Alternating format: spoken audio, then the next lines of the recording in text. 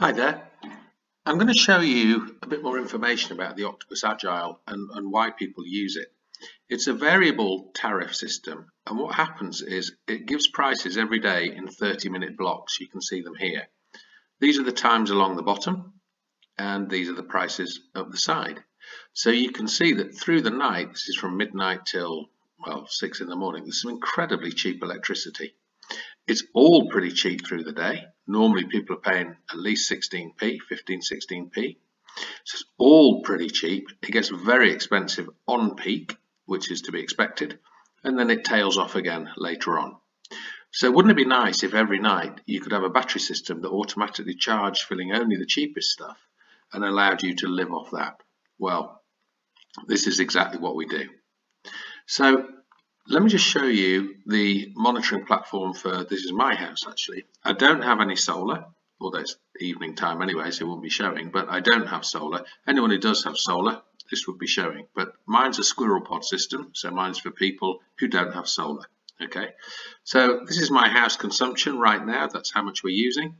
And because there's plenty of power in the batteries, it's discharging the power and covering everything I'm, I'm using. So if that goes up, this goes up.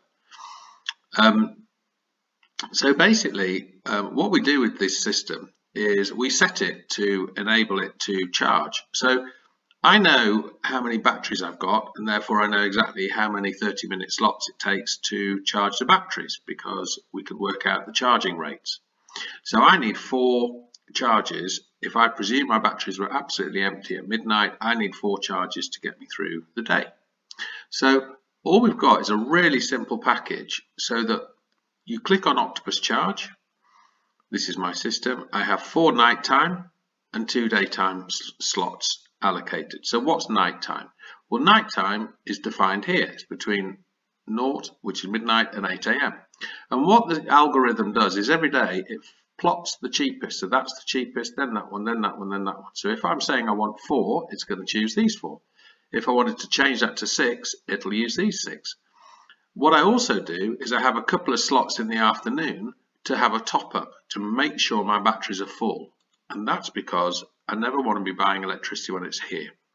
So although it'll put my batteries into charge for a couple of slots in the afternoon, if they get full after the first one, it doesn't matter. It just sits in charge mode, but it's only chosen that period because it's the cheapest anyway.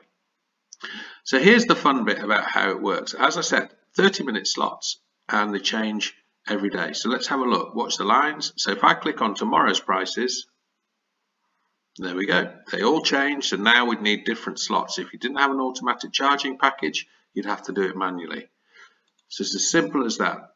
You tell it how many slots you want, it'll find the cheap stuff and that's how it works. Now what we also do is as well as setting a nighttime and a daytime charge, what we strongly recommend people do is use the monitoring platform also to block discharging. So for example, on mine, I say, right, from midnight till six o'clock in the morning, yes, I want you to find the four cheapest and charge, but I don't want any power coming out of my batteries. I want them sitting full come six o'clock, ready to run my house. And what that means is I can use that time period to do all my heavy usage. So the washing machine goes on then, the dishwasher, EV charger can go in because it's not going to empty my batteries and it's all cheap. So you're doing two things now. You're actually taking quarter of the day out of the equation. You're getting rid of a lot of your heavy usage stuff, which means you need, you need less batteries. So with less batteries, you can achieve an awful lot more power than you think you need. So if we quickly have a look back at the monitoring platform, and I'll go back onto my system, we can see that it's done exactly what it needed to do. So down here in a moment, this will load up. So this is the charge periods here. So you can see right here, it started charging at half past two and it went on till three o'clock because that was the cheapest period. This was the next cheapest period and so on. But the blue line doesn't raise above the line. If you look here, it doesn't actually start raising above, which, which is when it is discharging until 6 o'clock. And then in the afternoon, same thing. I've asked it to do a top up in the afternoon. It's done a top up. I clearly needed it. No problem at all, which means I'm never having to buy the expensive electricity and I'm living off the cheap stuff all the time. So that's how it works. It's incredibly simple, it's all automated, and it means someone with a battery system, large or small, can, can live off the cheap electricity.